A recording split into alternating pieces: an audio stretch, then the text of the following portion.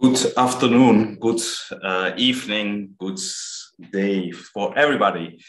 Uh, today we are having the second session of the webinar, The Future Design of Streets. And today we have a guest as Giulia, Mário and Sílvia. Uh, please uh, take on uh, your video. Uh, the Future Design of Streets webinar series. Um, we have a third edition, so we are really glad to have uh, Barcelona, uh, Lisbon, and uh, Milano with us to share their experience, their knowledge, and share it with you, uh, people from everybody, uh, everywhere in Europe, but also outside Europe, from architecture, urban planning, urbanism, landscape architecture, mobility planning, engineering, and a lot of other disciplines. And that's all about livable streets today. That's what we are doing this. We are organizers about three uh, universities in Portugal. The University of uh, Porto, uh, the Faculty of Architecture, um, the University of Minho, Escola de Arquitetura, Art and Design, and uh, we are also from the Portucalense University, uh, Architecture and Urbanism. Why are we doing this?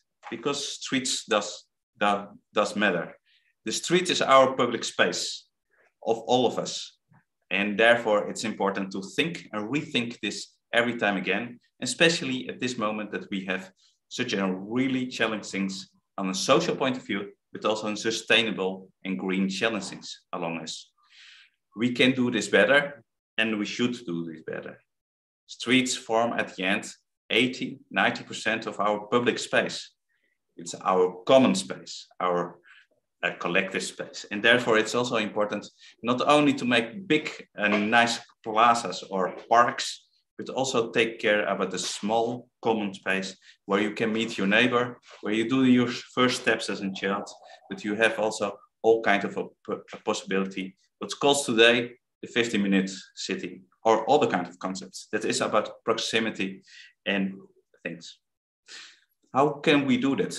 Well, perhaps there is no one model to do it, but 1,000 kind of models. And that's why it's important to ask to other people that have more intelligence, more experience in this, and to share it with us. We do this with the short uh, format of presentations. And uh, then later on, we have an open discussion talk with you, uh, um, Giulia, uh, Sílvia, and Matt. Our speakers today as we said, Sylvian, and I'm going to tell just a shortly introduction uh, in the order of uh, speakers. Uh, Sílvia Casorrán uh, Martos, uh, she's from Barcelona, uh, sustainable mobility planning and management during 15 years, but also already five years at the municipality of Barcelona, first at the metropolitan area and now at um, uh, as a deputy chief architect office, Barcelona City Council. Also important, she experience because she lives in a super block, uh, now, uh, and that's also a really important thing. Giulia, Giulia Sicignano, I hope I pronounced that correctly. Uh, architecture, urban plan, uh, design at Politecnico of Milano, and has uh, a, a, beautiful experience in uh, Milan, also during the COVID uh, uh, uh, period at AMAT, at the municipality of Milano. That is the agency of mobility, public space, climate, urban developments, etc. Worked as well linked with Officina Urbana, and recent also have some experience in Rotterdam at Stipo, an office that we are familiar with. Mário Alves, last but not least, from Lisbon, uh, civil engineering transport, and a really broad experience on this thematic. And uh, perhaps just want some highlights. It's about, let's say, the conference of Walk 21, but also his uh, role as Secretary General of the International Federation of Pedestrians. That is also uh, always on the top of the list when we talk about livable streets so far my introductions, and we are going to start directly with the first presentation. Sílvia, may I ask you to start your presentation? Yeah, sure. I'm the one from Barcelona, though this is from Lisbon. um, yeah, well, thank you, Daniel. Thank you to the Future Design of Streets for this invitation. Um, as you know, in Barcelona, as in many other cities in the world, we are right now trans- trying to transform the, our public space. Especially in Barcelona, we don't have uh, big parks. We are a city of, of streets. And then the, the space that's what, that was taken during last century by cars, we need to take it back for people. And that's, yeah, we are implementing many measures, measures but today I'm going to talk about one called um, Let's Protect Schools or School Streets that it's something we yeah we try to change we we are trying to create a safe uh, square or safe place uh, health and healthy also in, in front of each school in barcelona. That's a um, big challenge. But uh, everyone agrees that our kids must be protected. So we think it's a very um, useful policy to really change the whole city. So well i will try to share a screen. And here it is. Yeah. Well, two years ago, we had um, a boy of five year old called um, Hugo. He was killed just in front of uh, his school um, by a motorbike. Well, it was a yeah a very yeah, yeah sad uh, accident. And our mayor, uh, I mean, there was this project already going on, no, but not not with this power or not with this uh, yeah, commitment. But then our mayor uh, was really convinced that we in Barcelona we we couldn't accept the situation anymore. So then this program really started uh, with a very um, ambitious uh, objective that is um, changing the environment of all the uh, almost 600 uh, schools, high schools and nurseries that we've got in, in the city. And we are now working with the first 200, which is not, uh, which is quite a lot of places. Um, yeah, I will try to show you uh, what we are doing with. Um, yeah, of course, we know no? the schools are the places where our kids uh, spend most most part of the day. Um, so yeah, our goal for this period, no, for the 1923, which is the political period that we are right now in Barcelona, is that at least one of every three schools of the city uh, have a traffic calm area. We are uh, the interventions are all um, mainly tactical interventions, low cost interventions. We are spending an average of 70,000 70, euros per school. So the, the budget is, is quite low, but for each school, but uh, as, as, as, I mentioned, uh, we really want to, to reach uh, all the schools in the city. So in the end, it's the budget is now near nine, uh, 10 million euros that we are spending right now. And as you can see the, as, at these images, we are just taking a space from the that was given to cars to park or to, or to drive. And yeah, and then we try to give it back to, to people. Uh, what we are trying to, to face is uh, yeah, to improve the environmental quality, of course, uh, both uh, air pollution and noise. Also the comfortability of public space. Of course, it's about road safety and it's about also visibility because as our mayor said um, everyone when we enter in a city we know where a parking place is located because we, we see the p with the with the blue sign but we don't know where the schools are located no so we need to to make it more more visible and of course we are doing all these changes uh, with the with the with the co-creation and the, the involvement of the education uh, and neighbor um, communities okay as I mentioned, we are already working with different programs not to, to protect the schools in, in general. Um, before this period, we, we had make uh, interventions now in, in, in all these schools. But now our challenge is much bigger because as, as I told you, um, we are not trying to, to focus at all, all these almost 600 uh, schools, uh, yeah, nursery and, and secondary schools. Um, so this is really um, Mm, focusing at the whole city because we we see that all the all these education centers are spread in all the territory. Uh, we've got almost uh, 200,000 students of all this from zero to, to 18 year old. So yeah, we're trying to, to, to, to, improve all these conditions.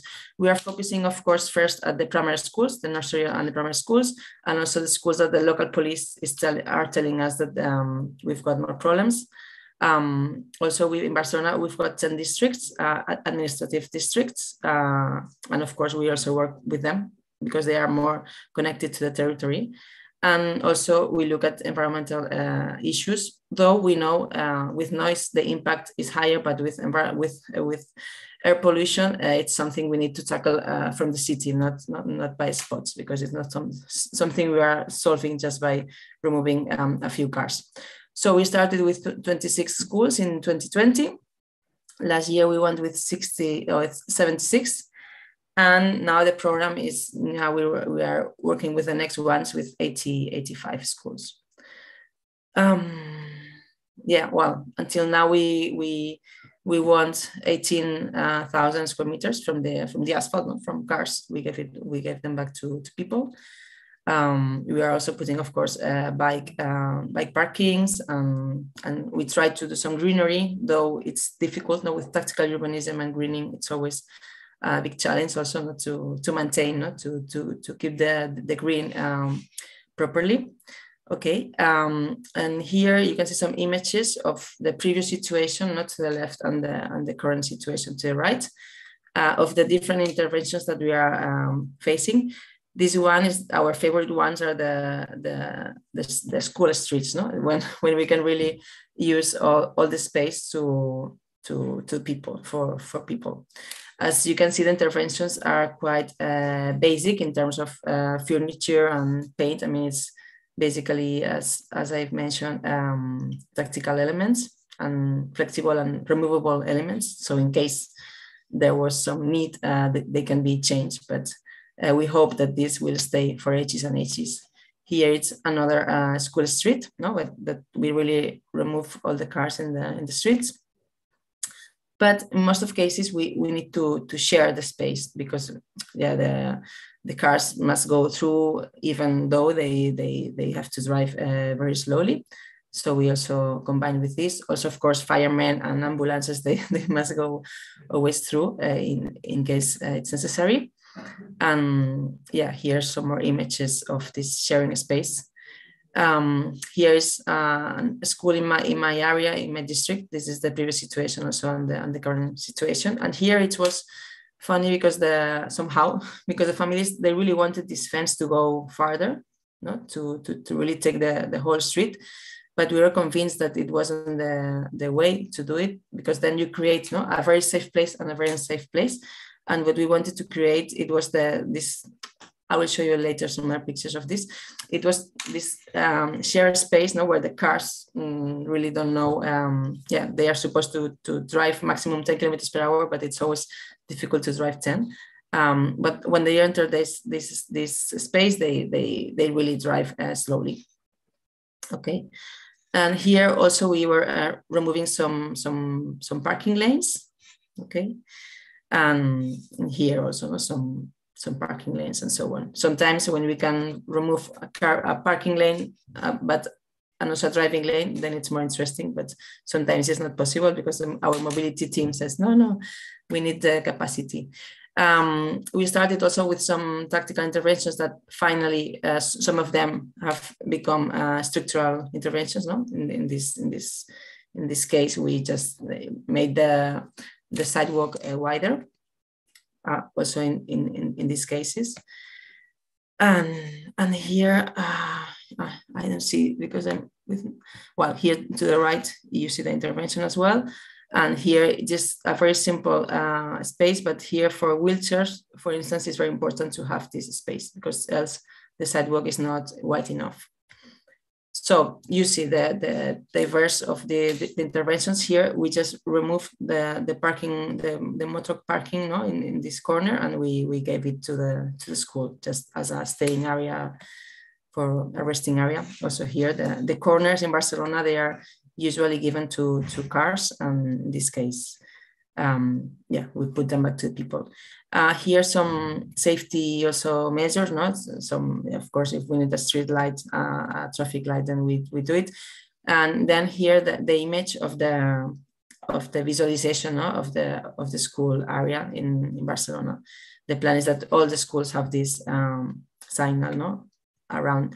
And this is in a, in a, in a high school. Uh, also, no, the, um, the students, um, the young people in Barcelona and many cities of the world, no, it's, it's difficult for them to, to find place where they where they feel welcome, no? Because they are like in at the parks, like it's more for kids, no, for for young, and then well for for children. And here they they can also find no, some some spots just to sit and chat, and so on. And what we like from these interventions is, is that yeah, also with the new bike bike parks, um, this is the, the one that I mentioned that we are, uh, the, the, cars can go through. Uh, the families were asking for a fence, but we didn't want it.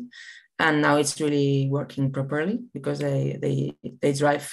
You see here children are playing but and the car is driving but very carefully because they understand that they it's not their their own place no? Also because we put the paint in all the, the all the asphalt not only um, where the where the children are playing and in these these places are not only for kids and the families but for all the neighbors no that's that's a really nice thing also no? that during the the school time uh, families and kids are using it but also after the the school time and in the weekend just the neighbors no can can use the, the public space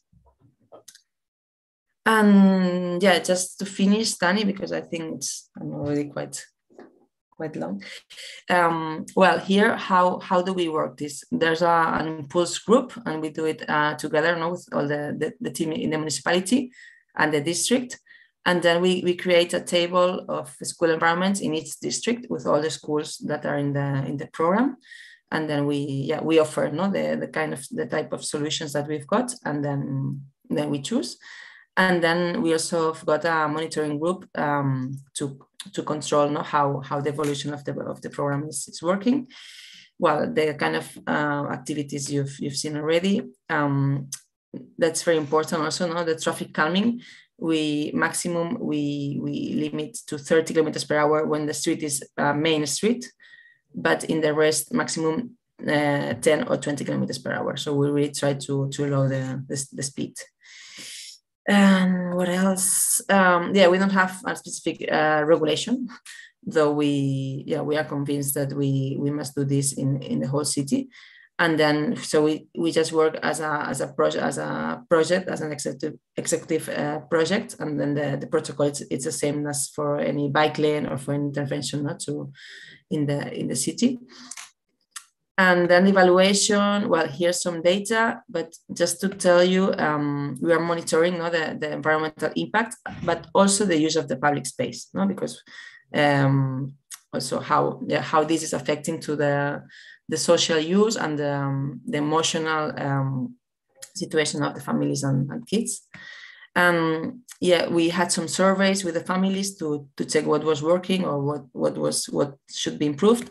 And now we are improving all the elements. No, for instance, when the when the sidewalk when the widen, widening the sidewalk is not wide enough, it's not useful no, for, for them. So it's also when it's less less than three meters, uh, maybe we shouldn't do this intervention. No, it's like creating um, high quality public space is not only about removing a, a, car parking lane of two meters wide, but we, we yeah we need more more space no? So here there's the detection of what's working and what's not really working. So we are uh, trying to to improve the project while we do it no?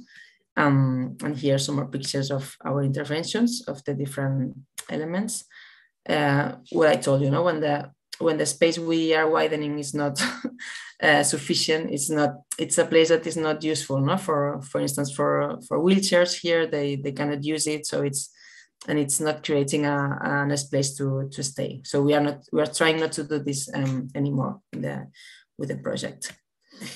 And that's it i think because it's just some pictures of what we like and what we don't like Daniel. So we we already know uh, what's working and what should be improved, and we are now working with this. Also, the the, the, the patterns the, the families can choose, and the kids the, they can choose the, the patterns. And and well, that's it. We are working together also with uh, design schools in Barcelona with Elisava and IAC with different pilots. Uh, to create this for displaying uh, place like this this one. This is all made by by Earth by by Sun, um, with different compactness. Um, we did this with um, Elisava uh, Design School.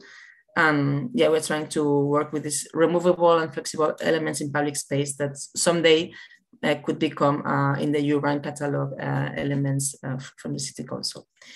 And thank you very much. Um, yeah, here we are to discuss later.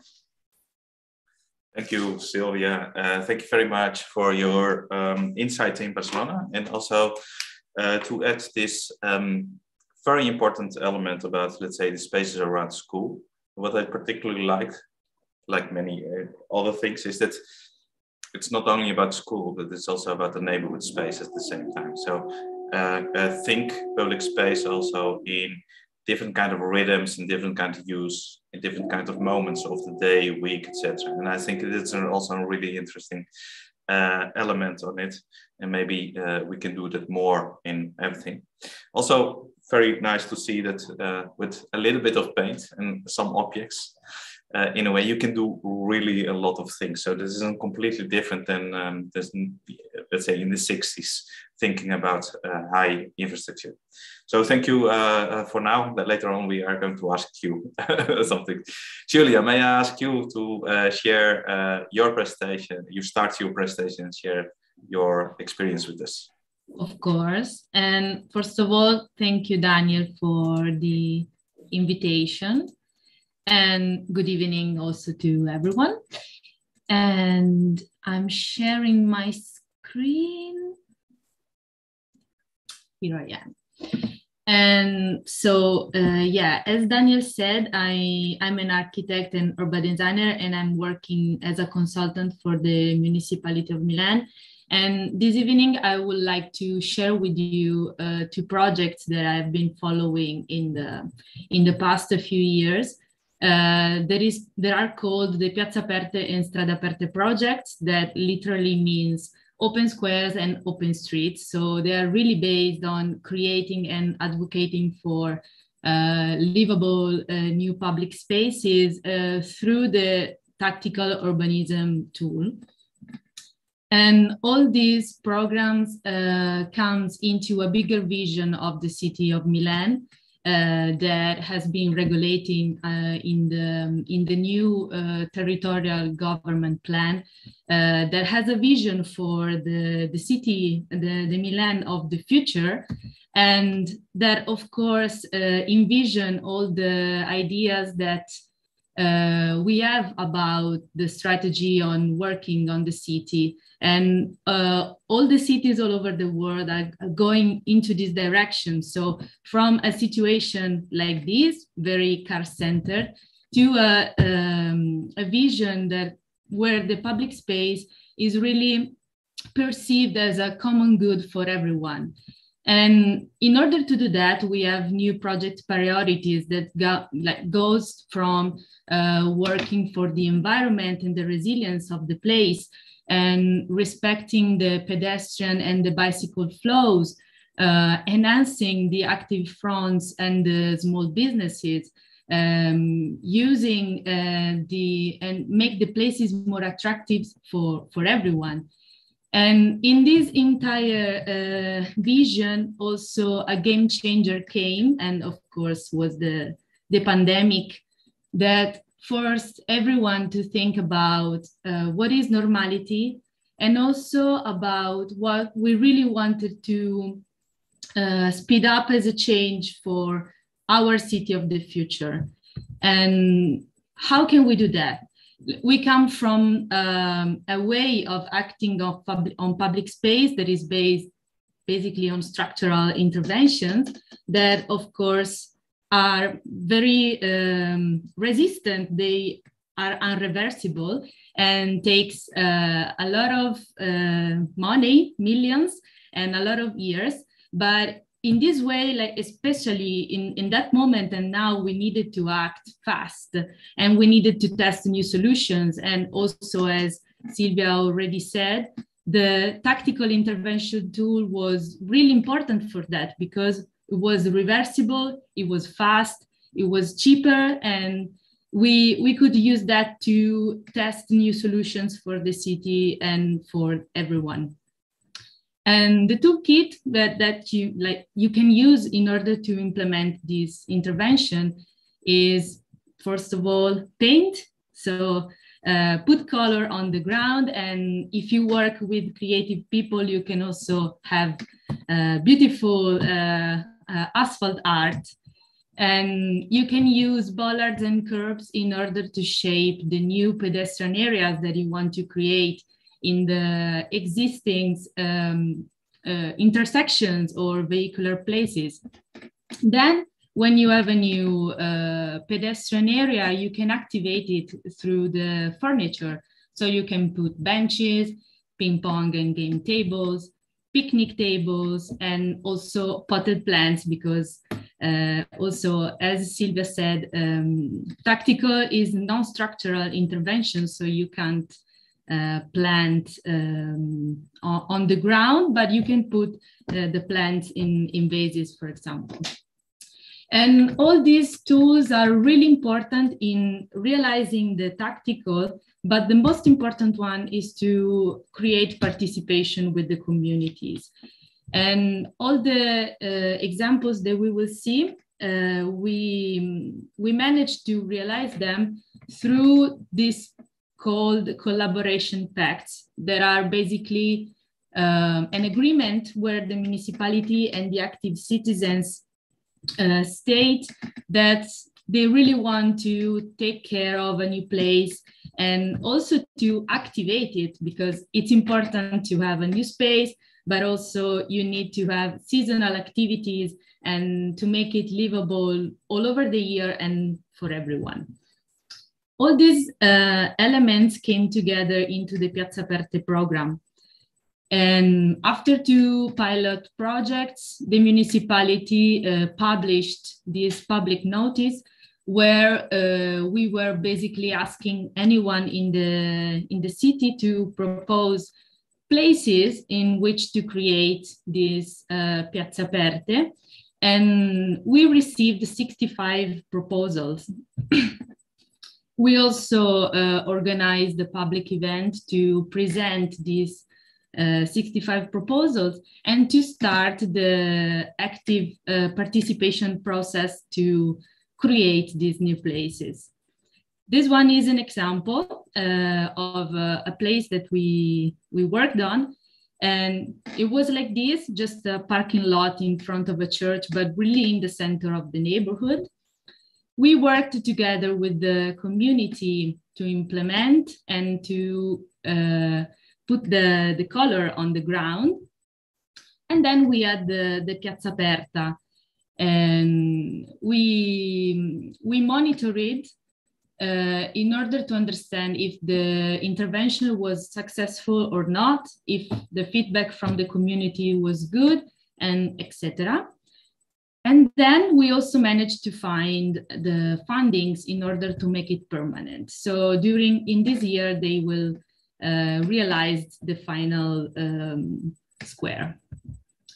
And we we have uh, a lot of examples of, the, of that but the idea behind is to change a place from a, uh, a place where people can't actually go from an, an area where people can take ownership and stay there and be together.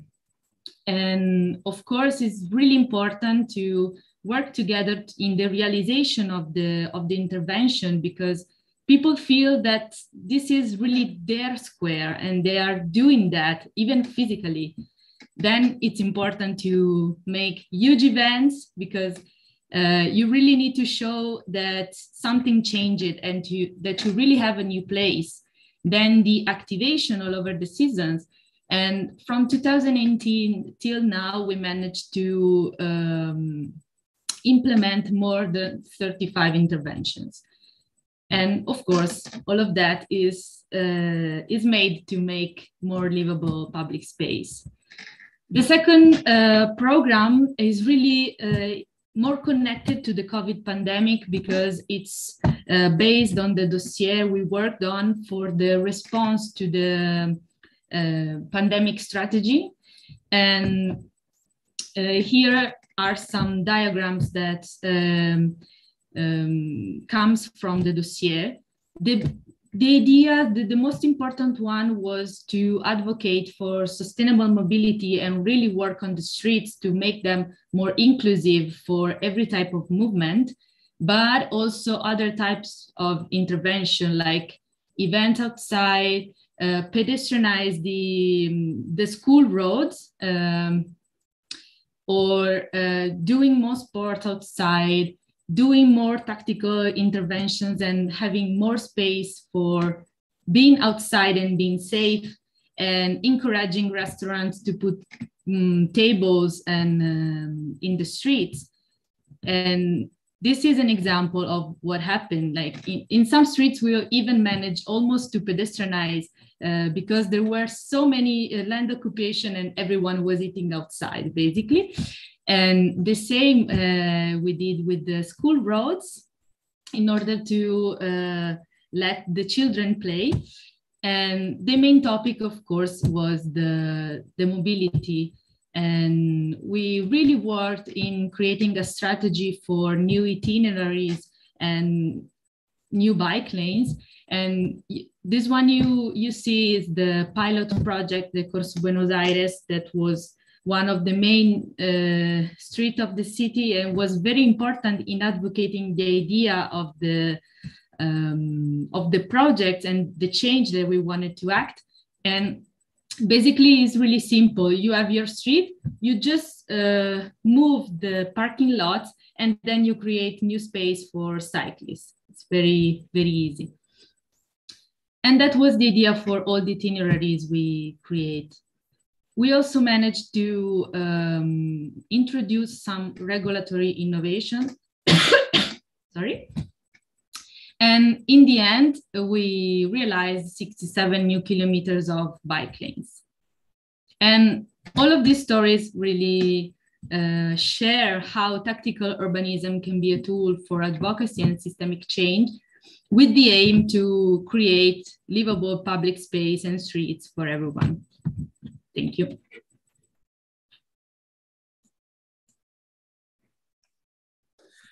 Thank you, uh, Giulia, for your insight, and uh, and I think uh, this uh, uh, inspiring uh, toolbox that is really practical to use. I guess um, we have to find a link and put on our website to share it with all all, all the people in the audience, because we don't have to reinvent the wheel again. I think we really can learn from you all. Um, so thank you for now, and I would like to ask uh, uh, Mário uh, to share your presentation with us. Mário.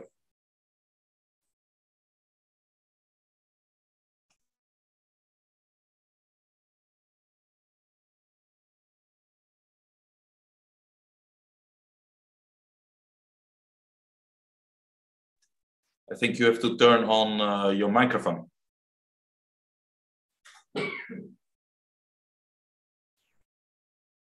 Here it is, I think. Yeah, perfect. Yes, very good, excellent. Yes, um, great, great pictures, great presentations. Uh, I'm really happy to be here. Thank you, Daniel, for the invitation and uh, the future design of streets. Um, I suspected that uh, our previous presentations would have beautiful pictures of practical cases. So I kind of changed last minute my focus. When, as you can imagine, all of us could speak hours about this. So for 10 minutes, we have to choose like a slice of what we have to say. And I'm going to speak a little bit, a little, something slightly different. Uh, I will speak a little bit more about conceptuals and about a question that a lot of people are asking is we know exactly now what to do and why is not happening faster and why politically so difficult. And I think I will tackle uh, issues like language, and um, and the future, of course, because we are talking about the future of streets. Um, this very um, um formal uh, cover page has to do with a project that the International Federation of Pedestrians was uh, finished like two or three days ago, last month, which was more. And of course, the European community needs all these logos and stuff, which is good for um, uh, disseminate the project. Um, but anyway, I will not speak much in detail about the project, but I will give you the web page because we have a lot of deliveries. It is a Horizon 2020 project, and there is a lot of deliveries about streets as ecosystems. So uh, it's very, very interesting, and there's a lot of tools how to use in practice. Uh, so to carry on, um, and uh, for just very quickly, because some of you did not even know that existed the International Federation of Pedestrians. We are around 50 NGOs around the world in 40 countries. And uh, you can find us in the major uh, social networks. You can see there uh, the keyword for the search is IF pedestrians. And uh, we are present there and we do a lot of tweeting and Facebooking and all that. So that's all. Uh, I could talk more during the conversation about what we do, but that's not the topic right now. Um, one of the reasons I was um, uh, thinking about changing it, and to talk about the power of stories is because in the last three days we've been talking a lot and i've been noticing something about this sad news that are coming from ukraine that even if putin wants the war in practical terms i think the war was lost in terms of stories and memes so you know now that the island that said uh, russian uh, war uh, ship, fuck you, and things like that. So um, all these stories are very, very important. And the stories and the memes about the war are indeed on the side of the Ukrainians. And I think this is very, very important to understand why and why we need to control the stories and why stories are very important to change the future of streets. I have this image, and this is, I don't like to read, but I think I will read the quote from Yuval Noah Harari saying that we are the only mammal that can cooperate with numbers of strangers because we can invent fictional stories, spread them around, and convince millions, millions of others to believe in them. As long as everybody believes in the same fictions and we all obey the same laws, and thereby we can cooperate uh, effectively. So basically, stories are very, very important uh, for the future of streets because if we have everybody in the same boat, and that's a question that we are going to discuss, I'm sure, during the conversation, is how the previous pre present presenters convince the people, because uh, there is always controversy around these measures. And we can see, for example, the case of Lisbon, that bike lanes and the pop-up bike lanes during COVID were very, very controversial. And a lot of people think that the mayor might have lost the election last year because of that. So that's a good point of discussion that we might want to discuss. One thing that I was always very interested was about the stories behind technology and the ideologies behind technology. So of course, when we put technology in the streets and we are, when we're designing public space, there is a story always that we tell people in symbolic terms. And we can see that from the examples of uh, tactical urbanism that you show, that you indeed you are telling a very strong, different story that we have been telling in the last 10, 20 years. So it's very, very interesting when we start looking at technology and see what is the paradigm, what is the story behind it. And the other thing that is very interesting is stories and paradigms, the building blocks are words. And then similes, which is basically comparing things. And then metaphors becoming even more powerful because are micro stories. And then the paradigm, which is the macro story. And the macro story is where the things start to change massively and cities start to change massively.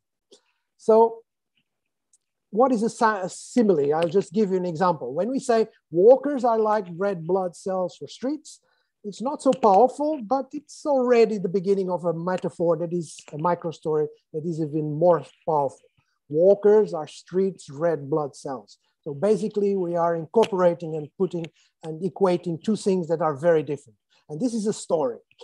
And the paradigm, of course, the macro story is walkable cities. So basically, if we start telling people uh, macro stories and stories, we probably have much more success than going through um, bullet PowerPoints with bullet points.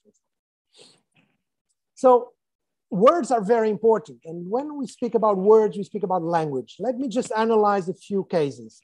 When, when I was doing my degree in civil engineering, we called walking and cycling non-motorized modes, which is really sad to characterize these modes by what they are not. Uh, so of course, now we all use active modes because it relates to public health and all that. And we, right now, we all know that by now. And the other thing is vulnerable road user. We are only vulnerable cycling and walking because there is machines that are lethal uh, or potentially lethal running around uh, in excessive speeds uh, with one ton and a half. So sometimes we start should start speaking about desirable road users because that's what we want. So instead of vulnerable, because if there was no cars in the streets, we were we would not be vulnerable. And the other thing that is very interesting is road safety, which was an invention from the fifth, from the 50s and is a little bit Orwellian. If you know uh, George Orwell from 1984, uh, he has double speak. Um, yeah, so the war is peace and all that that we can see in the last few days, that there is a lot of double speak. So in fact, road safety is a positive twist to something that is actually quite ugly, which is road unsafe uh, and safety. So road, road danger reduction probably is a better way to uh, speak about it. So let's start to change our language and how we speak about this. And we should start questioning how we talk about streets and the future of streets and cities. Uh, one uh, interesting example here is uh, our member, the International Federation of Pedestrians in, in Mexico. And, um, and they have this uh, big um, banner in a, in a viaduct, in a bridge, a pedestrian bridge, saying, this is not the pedestrian, this is not pedestrian, uh, this is not for pedestrians. And basically they do a tactical urbanism in one day and they just roll down uh, um, a zebra crossing and uh, they create immediately a story that is very, very strong to tell and people understand immediately what they mean. The other thing as well, you might know that, for example, uh, jaywalking, we will see here, uh, yeah, it is something that was invented by the car industry in the 1930s. And jay was people from the countryside, was an humiliation to pedestrians. So was pedestrians that did not know how to walk in the city. So um, language was always very much controlled by the car industry. So even the word accident was introduced uh, by the car industry. As you might uh, know or understand, for example, the airplane industry never speaks about accident, accidents, they speak about crashes. So this is what pedestrians are. And pedestrians are very, very um, different kind of road users because we have different ages, we have different uh, abilities, um, and we have different uh, needs. Yeah? So it's very, very different. If you are in a meeting or if you are doing a campaign and you, you hear someone saying pedestrians should do this or pedestrians should listen to this, be very suspicious because pedestrians can be a five-year-old or can be a 90-year-old with Alzheimer. It can be someone that is blind, someone in a wheelchair, and so on. So what would be the main problem? Uh, sometimes I say that we, for many decades, we know what is the vac vaccine.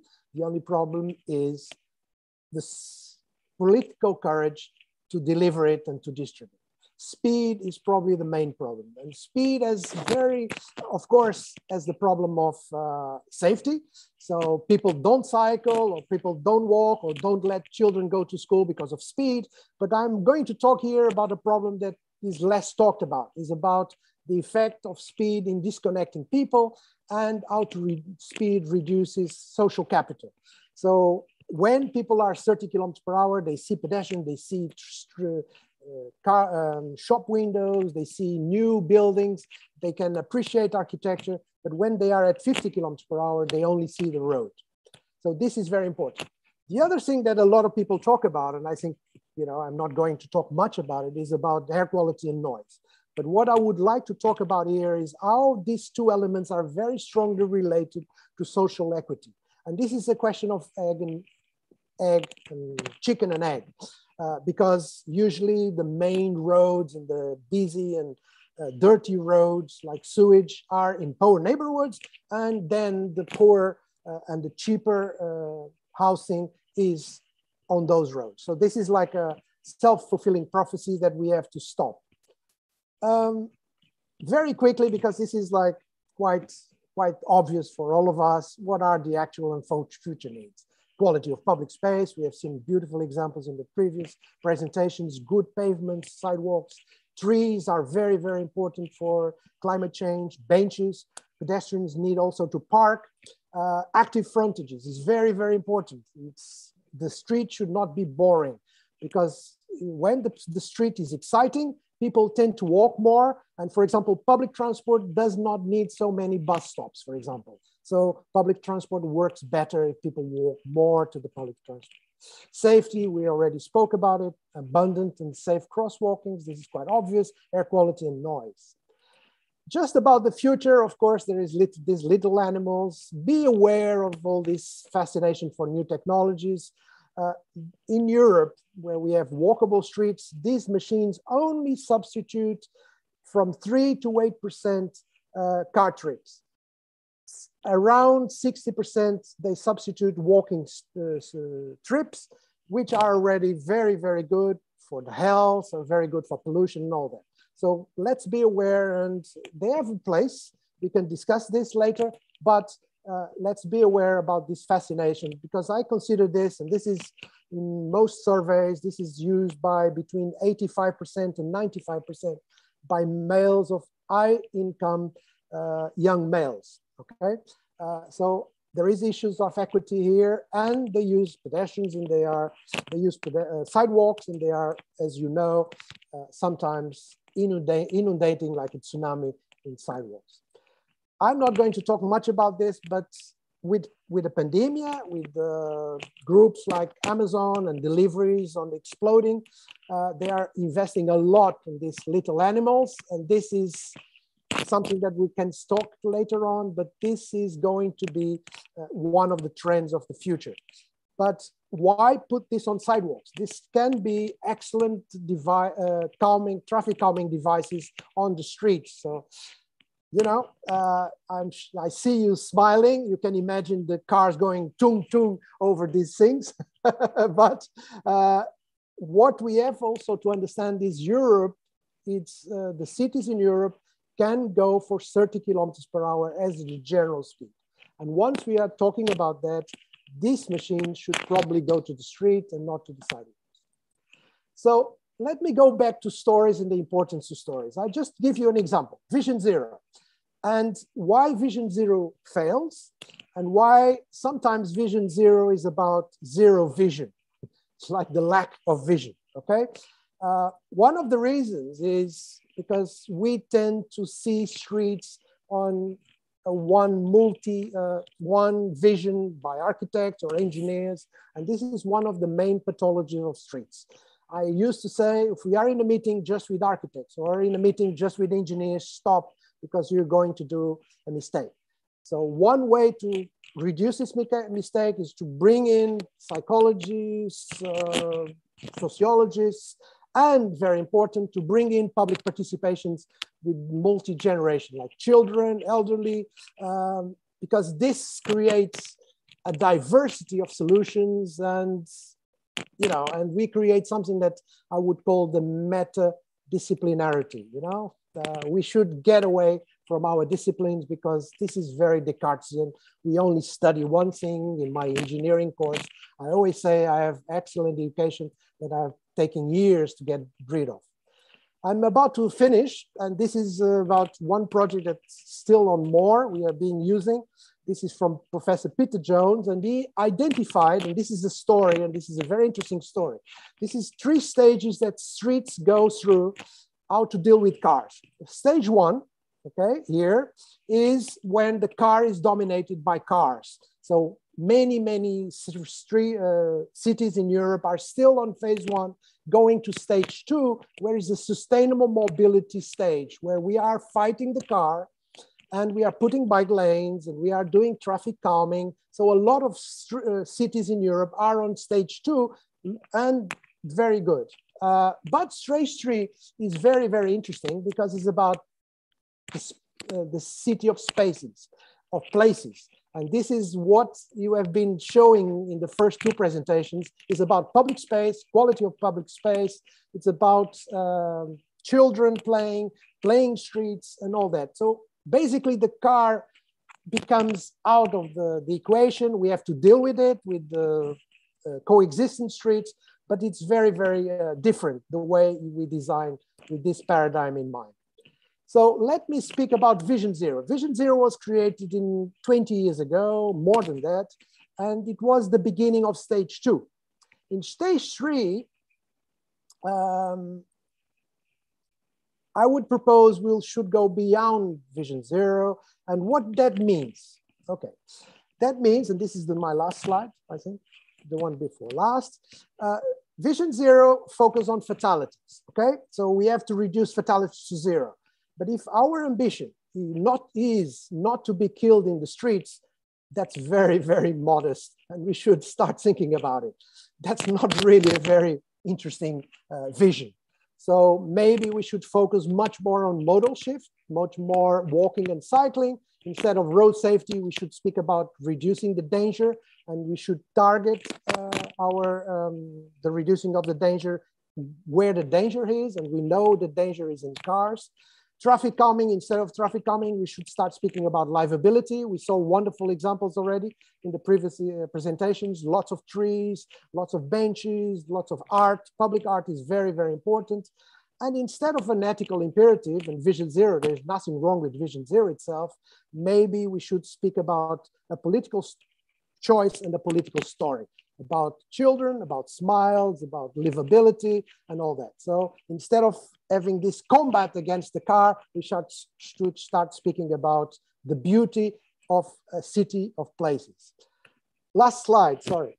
Um, I like to quote uh, Saint-Exupéry uh, in this biblical scenario. He says that if you want people, and I'm quoting by memory, if you want to, to make people to build a boat, don't give them a PowerPoint. He didn't say that, of course. Don't give them a PowerPoint with tasks and bullet points. Just take them to the beach and show them the endless beauty of the sea. And then they will want to, to build a boat. Thank you very much. Thank you, Mário. Thank you very much. Maybe you can close your uh, presentation so we can start, uh, let's say, uh, our conversation and discussion uh, uh, here. Um, obviously there will be a, a few really interesting questions to ask uh, you all of uh, uh, uh all. But I, I, would like to uh, start with you uh, Mário because you, you, you maybe because you were the last speaker but also it's it's about this let's say this ambition so it's, it's about the stories that we told, tell each other what we want and what we want collectively because that's another thing so it's not only our discipline, it's not only a political, let's say, vision, but it's also an, a vision of the community in itself. And um, you quoted uh, Yuval, of course, about great uh, humanity and you know the stories creating collective, working together. Um, but you said also some um, question in a way um, that maybe you can slightly uh, uh answer even uh, uh, uh, in more concrete way because you started in a way why things are not going faster. I'm saying it is my words. As we already know already how to act and the tools are already available. Why are not things why do we, it, it's just to make it concrete. Let's take uh, lisbon for instance as you mentioned as well as a moment. What is the momentum of lisbon or uh, and to act in let's say all the things that you talked about speed uh, about livability. Uh, it's not about closing the street but opening the street uh, so it's in a positive way. Um, can you mention mention something about that what you think? Yes for for the listeners and the previous presenters that don't know what happened in Lisbon, basically there was quite a very uh, strong effort to create uh, pop-up bike lanes during COVID. And this was hugely controversial in the election that was immediately after. Um, and uh, one theory, of course, there was many uh, theories around, there was a surprise. The mayor lost the elections, okay? So that's, that's a setup. And there is a lot of um, uh, post-mortem analysis of this. And I think one of the reasons might have been the lack of not telling a very strong story, an optimistic story about the future. And one thing that is, the, I think what we feel sometimes in some local authorities, and I work a lot with politicians and local authorities, is that they are a little bit afraid to tell the story. Um, and they prefer to act and then fait accompli uh, and then people get angry, and they get angry with a reason because they were not integrated in their um, in the decision. So, and even from technicians and people that are very good friends and with our paradigm, sometimes they say if you consult too much people, they will want cars and public and uh, parking and all that.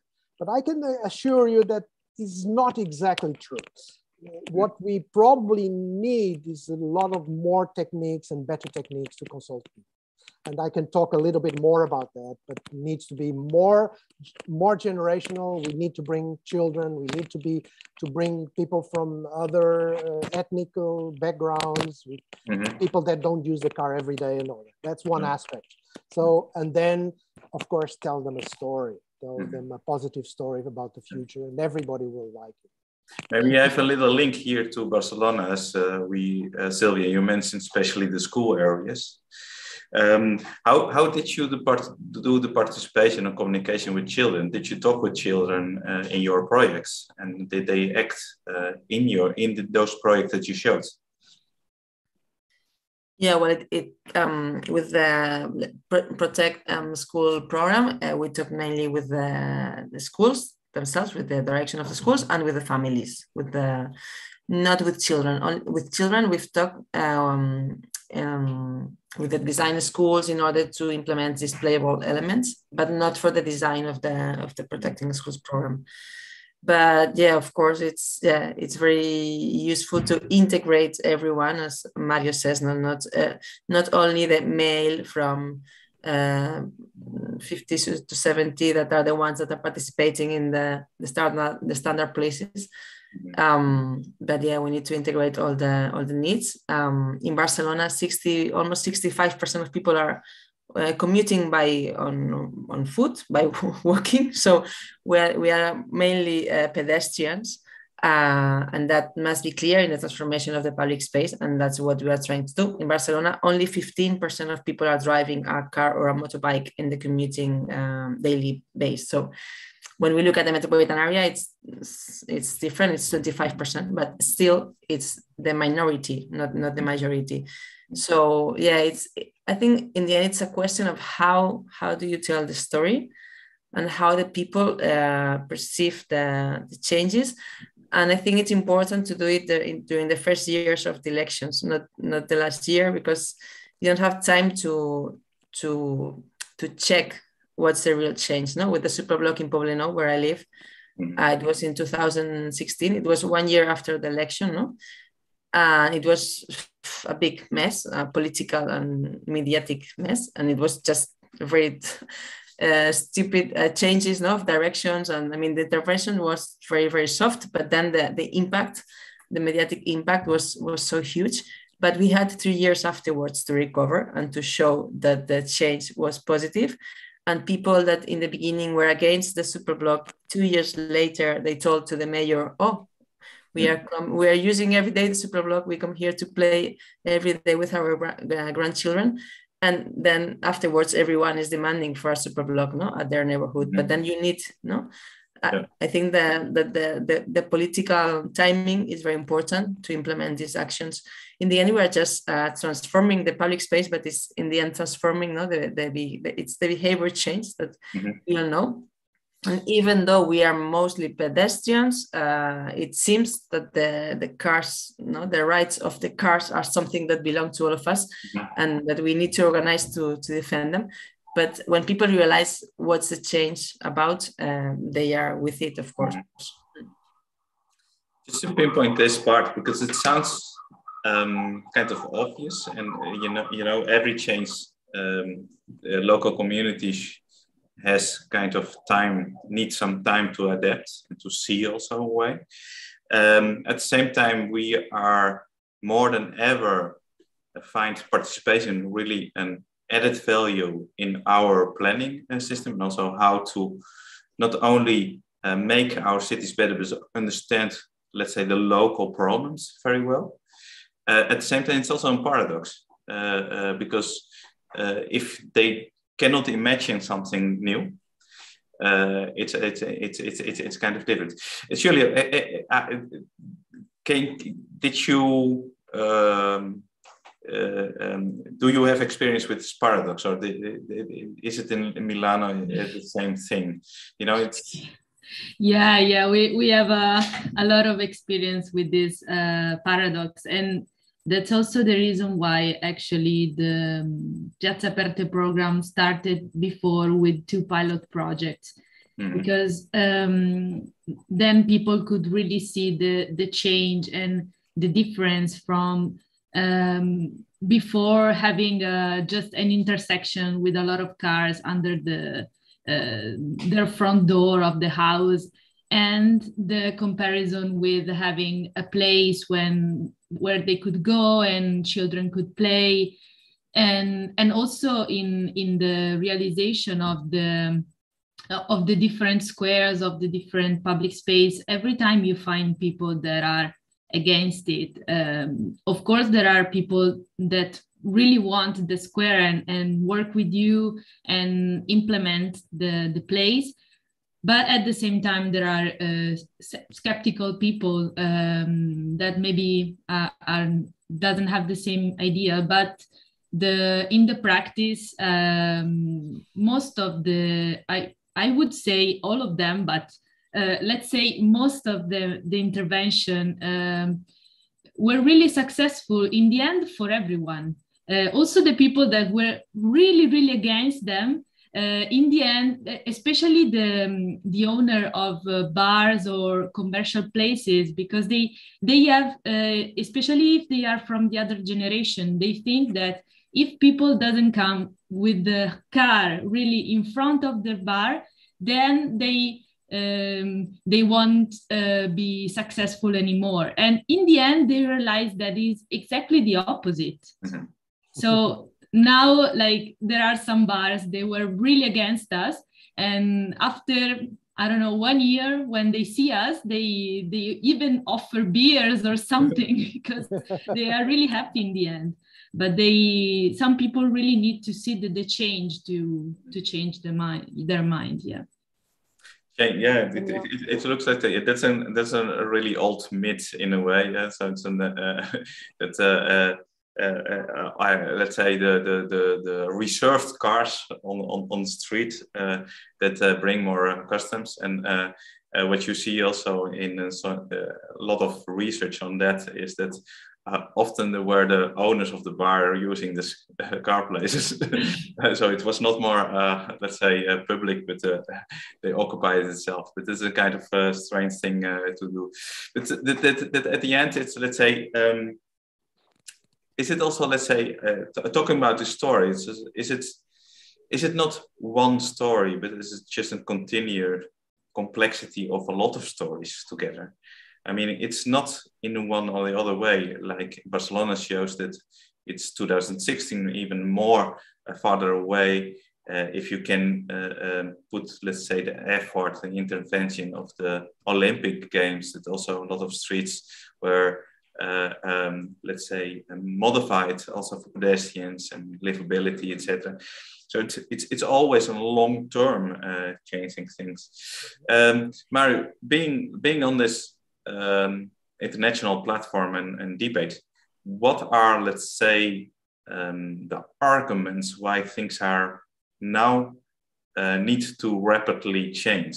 Because I think we have also a momentum in a way. Yes.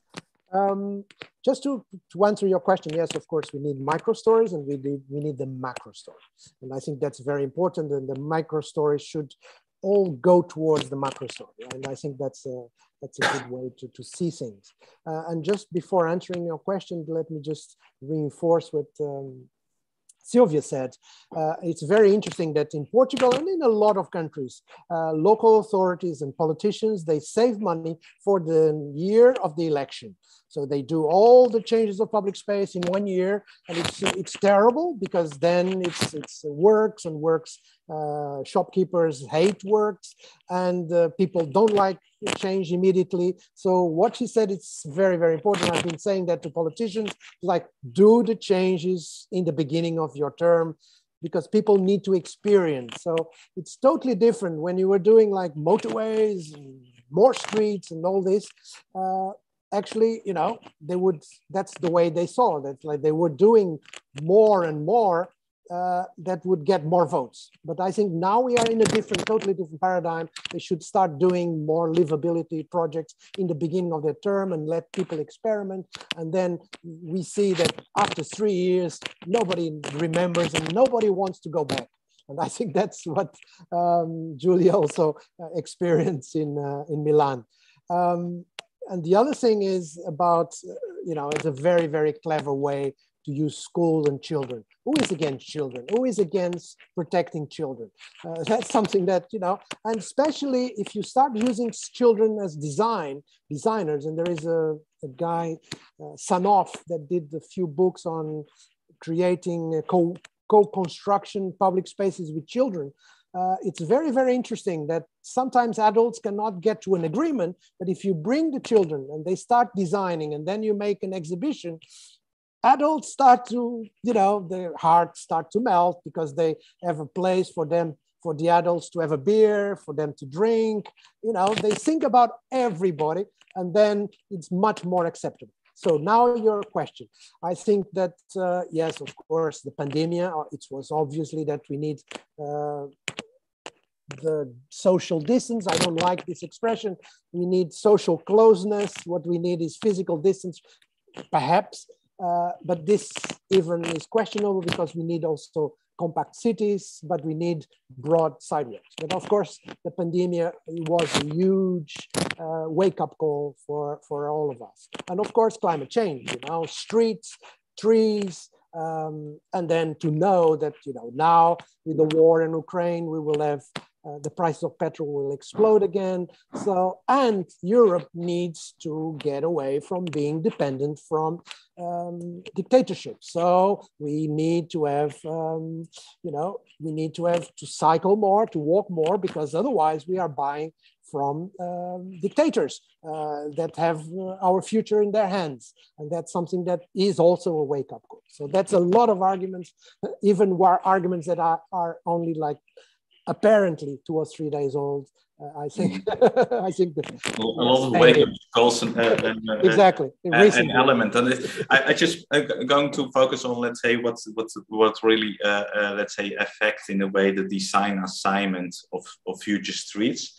I think Sílvia, you mentioned a little bit in an. Um, if I understand well, it's let's say the the effect of trees uh, temporality on the on the and and that, that it wasn't kind of challenging now to put trees in a structural way in this uh, in, in, in in in in streets.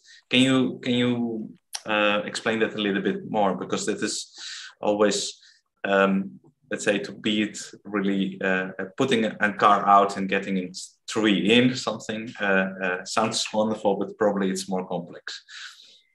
Yes, it's more complex because yeah, the the greenery, you know, the cannot grow properly, you know, in, in pots. I mean, it's it's nice to have some green in pots, and it's yeah, it, it changes, no, the, the atmosphere and the the landscape. But in the end, um, yeah, to create a proper greenery, you need to to to plant to real mm. plant. So you need uh, structural in, interventions and it's also the tactical interventions with the greening are more cost um, higher cost for the um, for the ma maintenance. Because in, in, in cities all the all the pouring systems are lately automatic no? Or, or we no when we have these uh, structural in interventions we try to make it easier no for the maintenance while when with the tactical interventions, we need the gardeners not to go mm. one by one uh, pouring the, the plants, pouring the water. And sometimes we get uh, the help with the communities and especially with the with the schools, no, with the with this program. But in summer, when the schools are closed, we always have the same problem. No? All our plants uh, die, and then in September we need to to put them back. Um, okay. So in the end, it's it's costly also to yeah the tactical interventions about the greening. It's something that we we don't know exactly how to do it. I mean, it's we are working with and we try to to make a small interventions. No, in the super block in Sant Antoni, we we put um, we kept some water with the reservoirs from the at the pots, no, at, yeah. at the bottom from the pots, but then we got mosquitoes. So it's I mean, it's always like, yeah, we are learning, learning by doing. Uh, yeah. It's it's it's a big challenge. And Daniel, let me talk a little bit about this: the retailers and the the mm-hmm. car and the cars getting to the shops. Yeah. We are talking about this already for 50 years. It's like from the 70s, from the so it's like for me, it's please 50 years showing that when we make a street pedestrian, mm, the, the shops uh, grow and it, everything is better for them and still we are in barcelona now with the super block project in, in the city center in, in Eixample. Mm-hmm. we are now we try we need to show no to the political position and to the media and so on that the shops i mean we are now on a, studying no surveys to other shops to show that the, the, the, the impact will be positive so it's really really tiring i mean i'm already working with these issues uh, for 20 years now mm-hmm. sustainable mobility issues and it's like please i mean cars they just enter in our in our in our streets since the 60s i mean until the 60s they were not a problem no in in, in cities. But from the 60s they took over all the space. And since the 90s we are already or since the 80s we are trying to to get rid of them. And it's not possible. I mean it's like mm-hmm. come on they they took yeah. over all the space in 20 years. And now we are for yeah for 50 years uh, trying to yeah to give it back and it's not possible. But i think lobbies are also behind here. It's not only mm-hmm. about politicians that do that don't do it right at the right moment. It's also about who is behind this what interests are behind this. And yeah that's our common fight mm-hmm. i think. I guess it's a complexity of a lot of uh, issues because um, having a car uh, in some cultures it gives you also status. Uh, I, my car is bigger than yours or more expensive or newer or whatever. And uh, and that that part of culture is of course a part that uh, is slightly uh, changing. It's now i have a better bike you know uh, sometimes in some subgroups and and perhaps in, in i have better shoes to walk. Uh, so there, there are always uh, uh, changes. But it's true, uh, Sílvia. It's it's. Uh, somebody said it, it took like a decade to adapt the city for the car, so the car could enter. And since then, we are busy to get out the car again, and doesn't work very very well.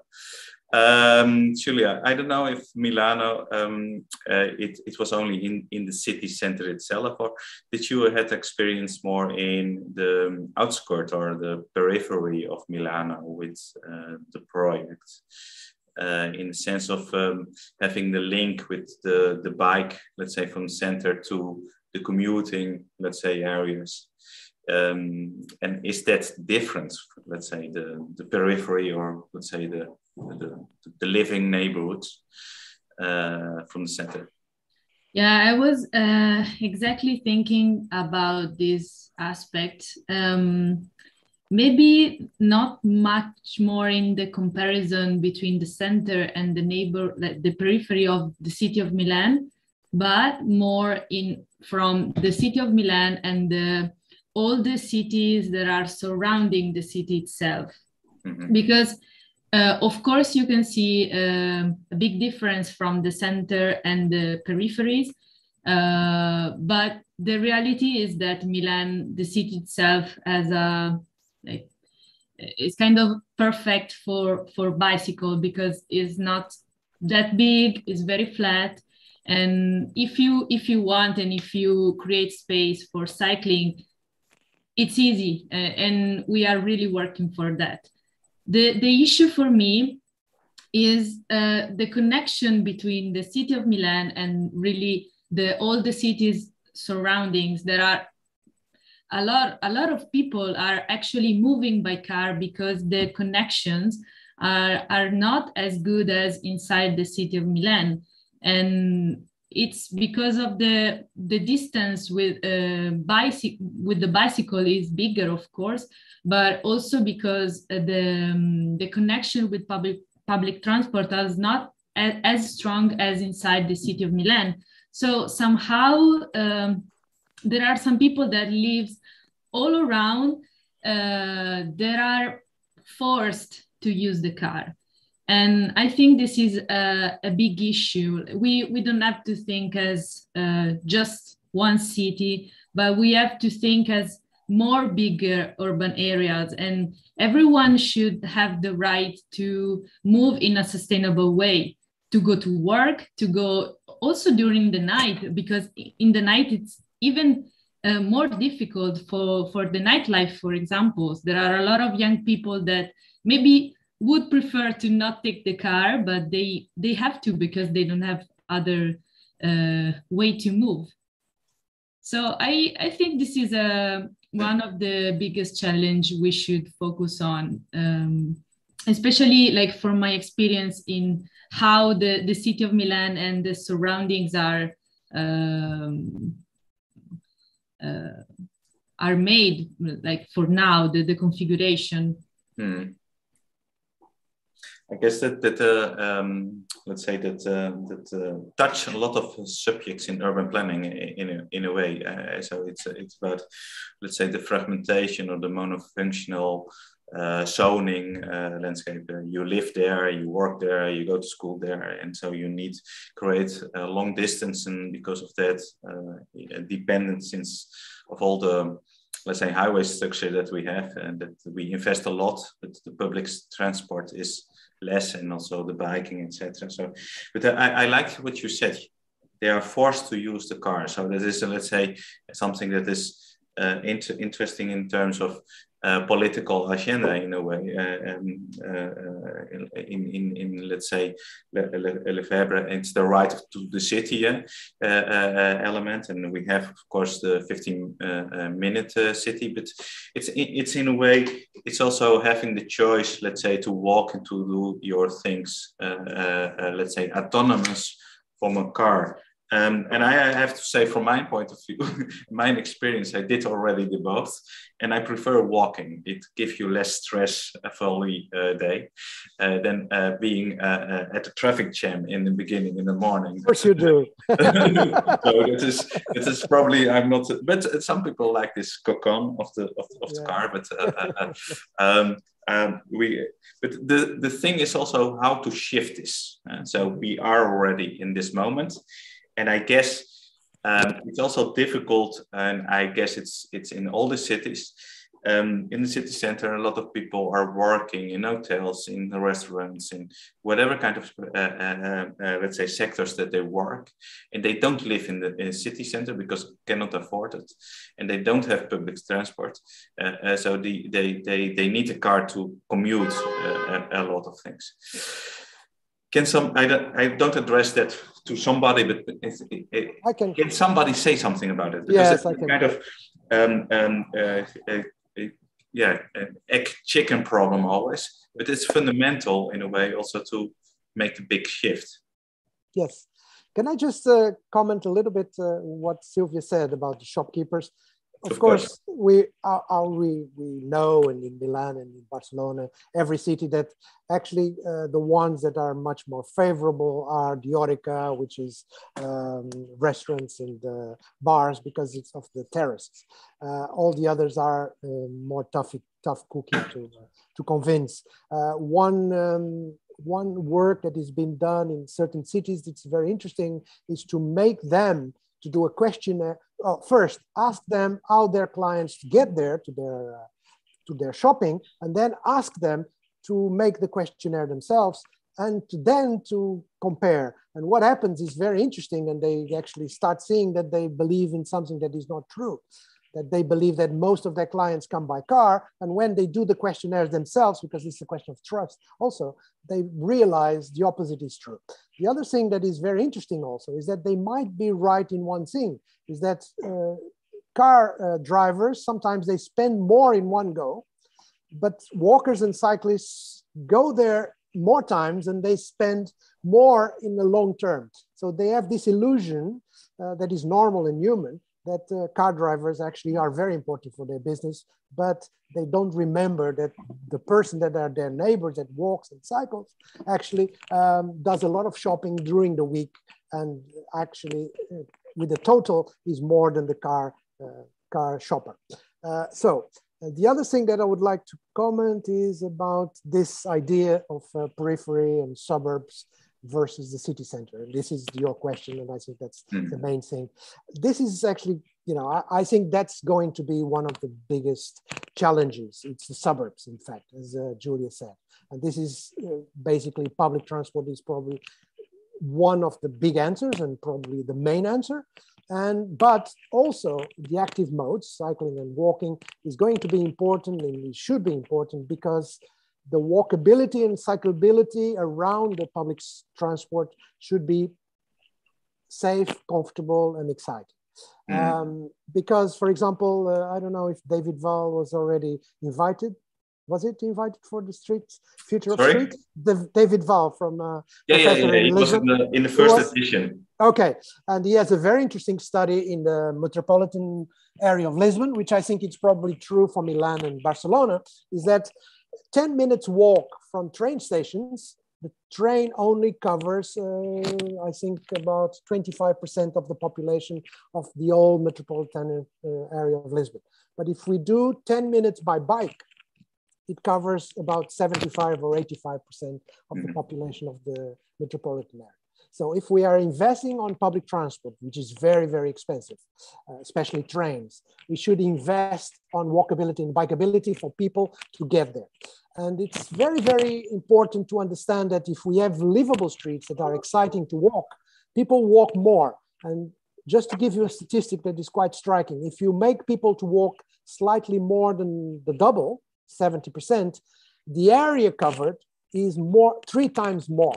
Yeah. So like you know, this is a, a, geographical miracle. So if people walk a little bit more, they have the, the, the area covered by the station is three times more. So like three times more population. And the other thing is, of course, to make more compact and more um, density around train stations. But I think this is, of course, is going to be the big challenge. And the other thing is social. As you said, Daniel, um, the, the thing is the elite sometimes are living in the center, they are walking and cycling, and the poor sometimes are driving to the, to the city center and in nightmare situations. So that's something that we have to address. It's uh, equity of the, the how urbanism uh, plays on this because in fact it depends from city to city in certain cities the poorest live in the center but in most european cities they are taken by gentrification tourism and the poor are being expelled to areas that they don't have public transport. And this is a huge challenge. So mobility is not the solution for everything. We need policies in terms of, uh, you know, uh, housing, and all kinds. And mm. just to finish, the other thing, it's very, very important. Sometimes when we do very good public space and walkable spaces, the rents shoot up. And then French, Russians, Saudi Arabians start buying the, the houses. So that's something we be very, very, very careful. That does not mean that we should do bad public space on purpose to, to, keep them away. but what it means is that only public space policies and only livable streets is not enough. It can be even detrimental for people, and we can see in a lot of cities that happen. Mm-hmm. Well, you mentioned a lot of um, issues, um, uh, um, uh, Maria, and definitely street space. The future design of streets doesn't depend only on mobility or uh, whatever, only one issue, but there's a complexity of uh, issues. Um, yeah, we should not make a better public space. I, uh, agree with that. Definitely, um, with all the dilemma in in in, in itself. But um, well, time is running up, and I just want to have a, a, a last round.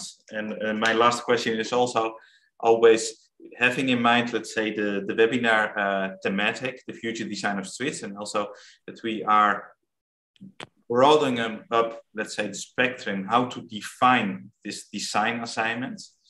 Uh, so what would you do?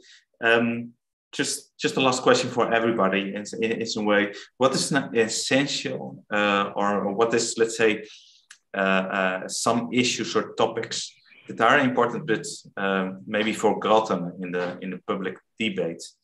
Um, Giulia i'm going to start with you Um, yeah, probably I would say now uh, maybe it, it's not forgotten, but uh, cities really need to improve this more and more, and it's the participation. I, I think this is really the key for working in the streets, public space, and also having a, a, a more um, strategic vision on all the levels because as you said, streets is everything. It's not only mobility. It's public space. Public space is city, and uh, it combines uh, all the aspects, inclusion, uh, and everything. So yeah, I would say that. Okay, thank you, uh, Giulia. Sílvia. Yeah, I think the the most challenging thing in Barcelona, at least, or in many Spanish cities, is uh, controlling, checking the, the speeds because we we drive really fast. I mean, many of our signs in cities are just desires. Mm-hmm. It's like you put a 30 and you desire that everyone respects the 30 kilometers per hour, but we are not checking this. We are not controlling this, and um, we've got some check um, some check speeds in the in, in front of some some schools in Barcelona and more than 50% of cars are exceeding the limits. Mm. And so that's a, a, really tough question because it's really, I mean, to to get a, a yeah a livable city or a livable street, we need uh, we need this. We, we need that the speeds are respected, and I think that's that's the our main challenge to in Barcelona at least yeah i wanted to say something else but now well about yeah we need uh, of course housing policies no to avoid gentrification but we we need to improve the public space everywhere then not only know in in in some parts of the, of the cities. And in barcelona the the real poor people they don't own a car. I mean owning a car in the city is too expensive. So only really a few people um, of poor people can afford this. So I think it's not. I mean, of course, we've got in uh, industrial areas and we've got uh, working class class people that they need the car because of the the, the timing. No, they, if they start at six in the morning or they finish at ten, and but the people that are working in the city, uh, they come mainly by public transportation because also parking policies are expensive. I mean, no one that uh, is mm, really poor uh, can afford a car in Barcelona, at least. Mm-hmm. Okay, thank you. And I think it's it's this is a really interesting thing about that you said. Um, in in a way, we have the techniques of the speed limits, but then uh, let's say something that is the planning and the practice are two things, and that I think is uh, very interesting to know also in how to design streets and everything things i will i will almost say uh, uh, uh, to all the people that are involved with smart cities try to innovate something uh, to tackle this problem because maybe technology uh, can use it Daniel, in the cars itself. Sorry, we don't, we, don't, we don't need to innovate. The, the exactly. technology is there exactly. already since since Low five tech. years ago. Since yeah. five Low years ago, at least. And, and the lobby and the lobby yeah. saying to European Union that we shouldn't control. I mean, speed can be controlled automatically by most of the cars that are in the market right now. Yeah. So why don't we do that? I mean, that's yeah, for me a big shame in Europe. Yeah, that's a, big shame. shame. When I oh, when I hear an appeal not only to the industry because you have also a lot of old cars, but it's also especially to decide in this. There are different elements. But okay, this is a discussion about how technology can uh, help in, uh, in this. Uh, ma, ma, ma, Mário. I got to the point that when I hear the word smart, I pull the pistol. I, I, was I, I was saying the smart and the things that uh, the element, but I think technology no, uh, itself. There is, of course, there is a role for technology. Um, uh, uh, uh, streets are high tech spaces in a way already. Of course, of course. There, there is yeah. electricity. There is a lot of dangers on that, and I think low tech streets. There is a yeah. lot to be said about low tech streets and uh, low tech cities, which has probably is even uh, probably a forgotten thing because I have a problem because all the issues are excellent that were raised mm. till now, and uh, now I remember one. Low tech streets could be a good good issue that is a bit forgotten. Sorry, what? Low tech streets. Low -tech. low tech streets, you know, traditional low tech design. And just let me comment a little bit on what you said. Public uh, participation, very good choice And I think co-construction of spaces should be the future. We should start involving all the generations and people should start designing. And I think that's something that architects have a problem with. They think that they are in the ivory tower sometimes and they are authorship. There is an authorship, but there is something that they have to learn a lot with other people, with different uh, generation, children, elderly, and all that. So co-construction is a very, very forgotten issue, and I think should be done more in the future. There is when you do public participation, there is a few things that happen. People, when they arrive, they change their point of view that converges slightly. You never go to the absolute conversions, unfortunately, but that's okay. And the other thing that happens is that even if the final solution does not agree with their point of view, they feel that at least they were listened to. And this is very, very important and that reduces the level of uh, controversy. And the other thing I was going to choose, I was crossing out every time that one of you would choose one. For example, parking is going to be very important. If you, if you want to reduce um, cars in the cities, you have to reduce parking parking uh, standards. It's, it's, ridiculous, the parking standards. They make housing more expensive because, you know, if you have to make housing and parking underneath, mm. first, spoils completely public, public space because you don't have shops when you have parking because they need a place to breathe and you know there is all these kind of problems architectural problems so um, let's go back to low-tech uh, environments and uh, traditional solutions and let's treat technology with respect and the due uh, limitations of technology. Thank you, Mário. Um, that, that, that's that's a, a, a, very nice uh, uh, words of all of you, um, Giulia, Sílvia, uh, Mário. Very much. Thank you very much for this uh, session to share your ideas, but also to share, let's say, your thoughts, uh, dilemmas, paradoxes, uh, questions uh, appeals, uh, uh, let's say, in that sense. And I, I, guess it is maybe also a kind of opening in if we talk about the future design of streets. Maybe the future it's uh, in the back in our uh, uh, let's say in in our past some ways, and it's not only in making new things but rediscovering old things that can have still today a new kind of value to all of us. And that I think it's also something, a lesson. Uh, at the end, we start uh, as a child and we grow up and then we get old. And all the stages of our life, we use these spaces, uh, public spaces. So thank you very much for your sharing for this session. And I would like to also thank very much the audience that stay with us and listen to us. Uh, for once that uh, uh, watch us after it. Also, thank you very much to um, got to the end and listen to it. We are going to share this um, session, like all the sessions, on our website, the future design of streets.au. and of course, I would like to thank Ivo Oliveira, Teresa Correira, and Bruno Moreira, um, and Juan Nuno uh, uh, Cardoso as the organization team that uh, is behind uh, my shoulder somewhere and supports all this idea and organization. Thank you very much.